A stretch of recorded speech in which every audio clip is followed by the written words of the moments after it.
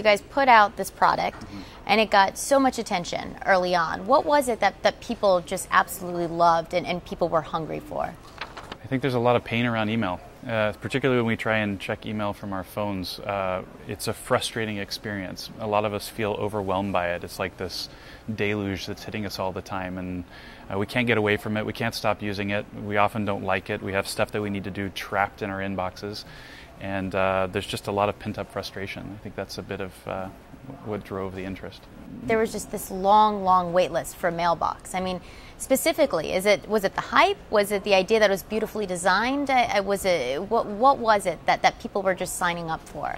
Yeah, I think uh, well the way that we launched Mailbox is we we showed a video ahead of time, uh, kind of showing people what the experience of Mailbox might be like, and then we had hoped to get uh, maybe hundred thousand views of that thing uh, before launching the app and.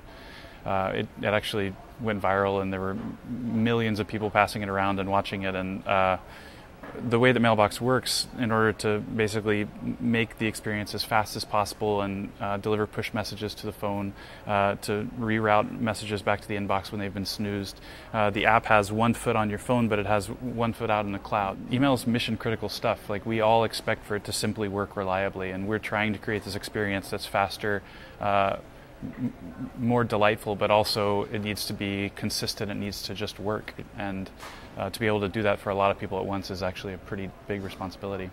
And so you guys have this this classic entrepreneurial tale that doesn't happen to most entrepreneurs, which is you put a you put a product out out there, it goes viral, and then you guys get acquired for millions of dollars. I, I mean, take me through that. At what what uh, when did those conversations start with Dropbox, and, and at one point did you say, okay, I've got a product out there, now I'm going to be part of another company? Yeah.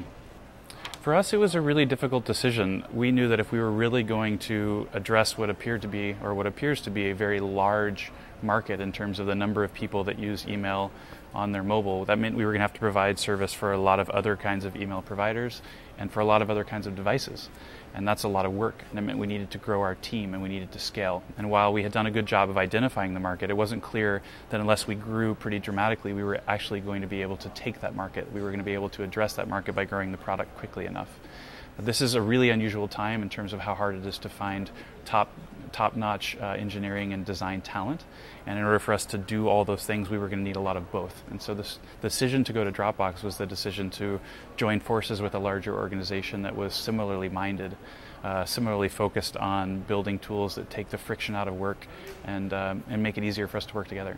So what next? Do you expand beyond because it works with Gmail now? Do you expand beyond Gmail? Yeah, so we're actively working on expanding beyond Gmail to other email platforms and also ex- expanding beyond the iPhone to other devices. So we're we're announcing an, an, iPad app now, and that's kind of the next piece. But we'll be continuing to grow beyond iOS into other mobile devices and the desktop as well. One of the reasons Mailbox, you could argue, has done so well is because of the design. Yeah. What's your philosophy on it? You know, I think a lot of people think of design as this way of making something pretty or making it uh, clean. Uh, the the world that I come from, design is used as a, a, way of solving problems. It's almost like a way of thinking. Uh, it, you you spend a lot of time trying to understand the problem that you're trying to solve uh, as deeply as you can, to build sort of an empathy for it, and to express that empathy in, in terms of a couple of very clear objectives about what a solution might do. What would it mean to have better mobile email? Those become the stakes in the ground on which you, you determine whether or not something is going to work. So design becomes the process of going from this understanding of the problem uh, to a solution. And the way you get the solution is you try a lot of things. You iterate quickly with the anticipation you're going to make a lot of mistakes. Uh, the, the whole idea is to fail early and often to, to succeed faster through uh, a, a, lot of prototyping and a lot of trial and error. And the premise is that you can try as much as you want to uh, come up with different solutions, uh, but you never let go of the understanding of the problem.